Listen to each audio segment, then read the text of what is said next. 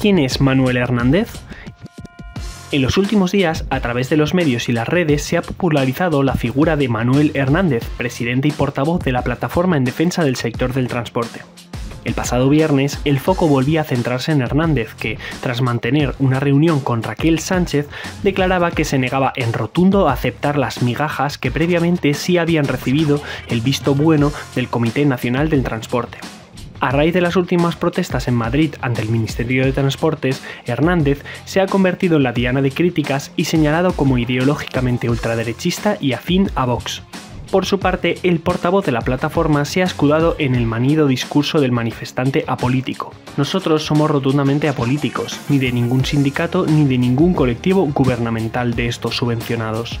Sin embargo, ya fue cazado en un acto de Vox recientemente, también ha compartido en sus redes personales publicaciones del partido, como una intervención del diputado de Vox, Juan Luis Stigman, en la que definía la manifestación del 8M como un infectódromo feminista o calificaba al gobierno de plaga contra la vida. En sus redes personales, además, se ha podido rescatar una retaíla de insultos dirigidos a dirigentes como Pedro Sánchez, al que llama rastrero y sinvergüenza, o a Pablo Iglesias, a quien tilda de desecho humano. Los pinitos políticos de Manuel Hernández, indica público, comienzan en 2015, cuando ocupó el puesto número 12 de la candidatura del Partido Independiente de Ellín, una formación minoritaria de derechas que nunca ha obtenido representación en el ayuntamiento ellinero. Pero antes de convertirse en activista, Hernández creó una empresa. En octubre de 2010 fundó Transportes Manolín e Hijos Sociedad Limitada, que se constituyó con un capital de 60.000 euros y en la que, pese al nombre familiar, figuraba como administrador único.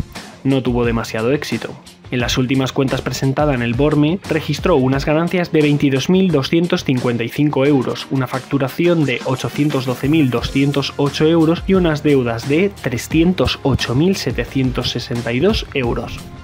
En septiembre de 2018, Transportes Manolín entró en concurso de acreedores y acabó siendo liquidada. A raíz de esto, en redes sociales se le ha acusado de no pagar a sus choferes, algo que él ha negado. Manolo no vive el transporte, Manolo no tiene ningún camión ni empresa a su nombre, Manolo no pagó a sus trabajadores, Manolo convocó un paro dejando fuera a 227.000 asalariados. Pero por algún extraño motivo, tú crees que Manolo es un defensor del sector, declaraba Basilio al respecto. Lo que sí es cierto en esta trama es que ahora Manuel Hernández, portavoz de la plataforma en defensa del sector del transporte, no cuenta con camiones, pero sí con mucha vehemencia.